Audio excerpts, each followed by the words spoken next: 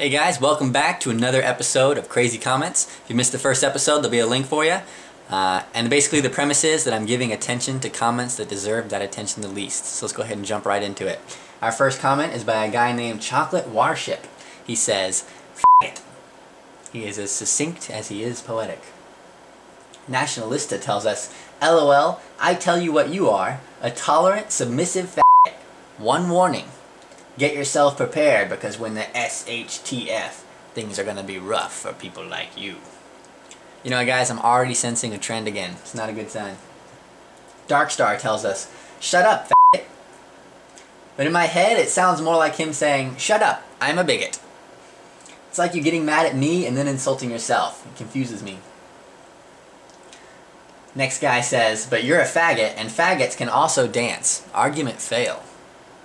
Speaking of arguments failing, I don't really know what he's talking about, but uh, perhaps he's referencing that I have really two hobbies. One's talking about philosophy, and the other's dancing.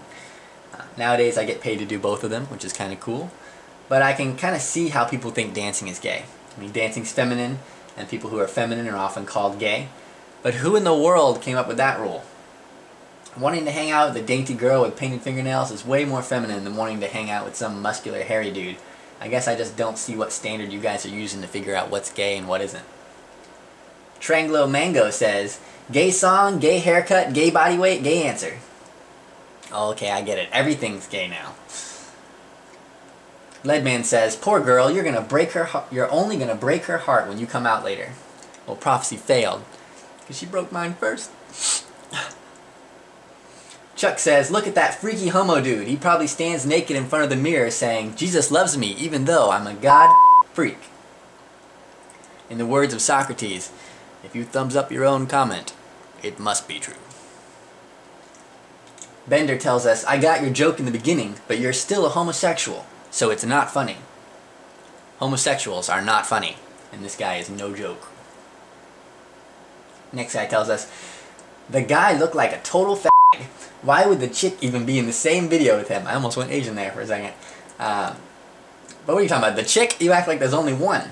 Check out these past videos. Cute girl, cute girl, cute girl, cute girl,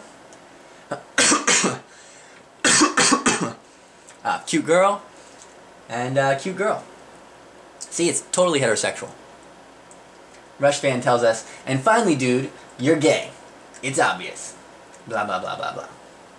So yeah, it's totally obvious. I'm surprised Westboro hasn't picketed my videos yet. But I don't see where you guys get this. I mean, there's nothing homoerotic about my videos at all. I mean, check out this video. All I'm doing is talking about philosophy. And in this one, all I'm doing is posing half naked in front of a camera. I mean, wait, what? Oh, sorry guys, wrong clip. Sam, did you play a prank on me? Oh, Sam, you're such a silly goose sometimes.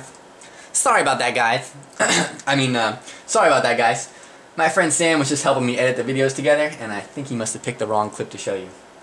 Anyway, let's uh, see what else these people have to say. Scotty tells us, I would ask if you were f but the dude is definitely gay. oh, man, I'm really bummed that stopped you from asking your thought-provoking and incredibly relevant question.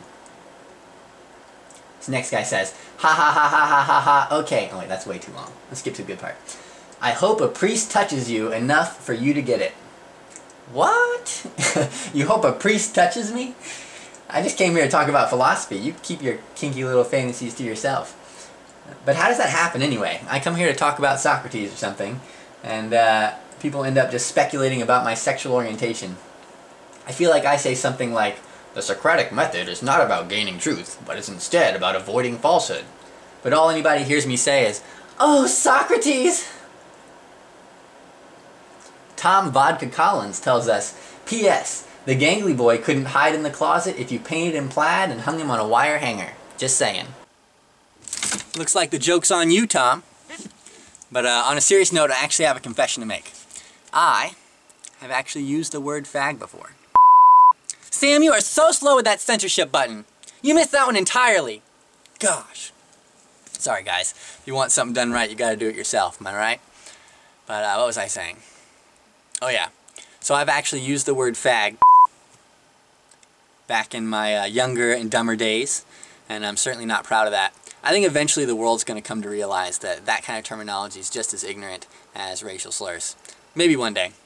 Uh, but one thing that does interest me, or I find puzzling, is that uh, so many people speculate about the sexual orientation of others. It seems you have to rely on stereotypes to even make that kind of speculation, so that seems kind of messed up. But uh, perhaps a better question is why do people care in the first place? And I haven't figured out that answer yet, so if you have any insight, feel free to enlighten me. Oh, and not to burst anyone's bubble, but I'm actually not gay. Uh, sounds really convincing coming from a guy in the closet, right? Uh, but uh, if you want to see more videos like this, just let me know. I have plenty more insults to go around. And uh, as always, test everything. Hold on to the good.